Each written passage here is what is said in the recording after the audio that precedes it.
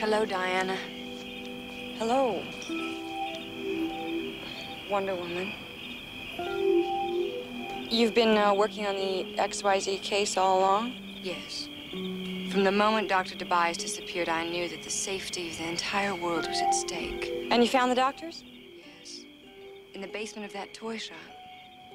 Let's go.